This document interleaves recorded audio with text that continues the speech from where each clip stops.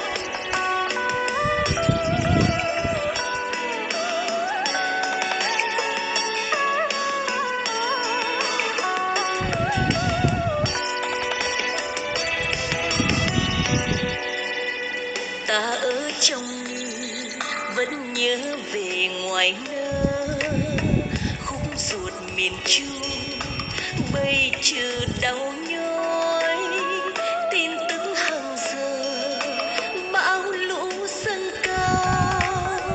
Bây giờ lại thêm người chết từng ngày, đau như cắt nên đau thương đứng dậy miền trung ơi, sao năm nào cũng vậy?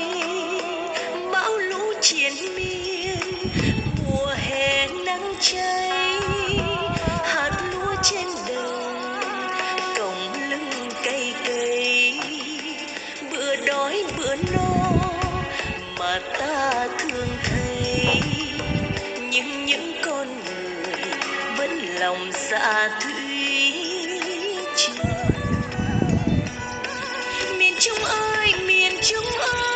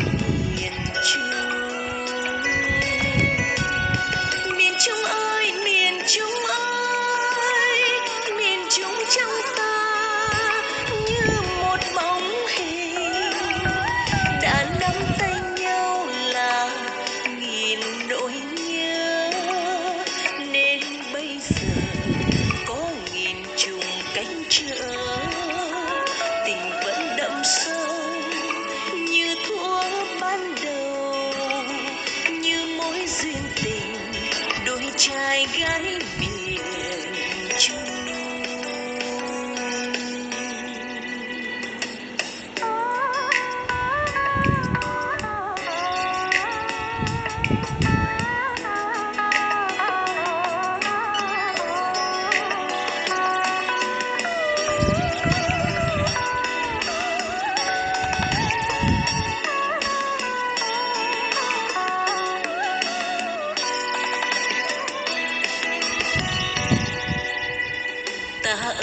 trong ly vẫn nhớ về ngoài nước khúc ruột miền trung bây chưa đau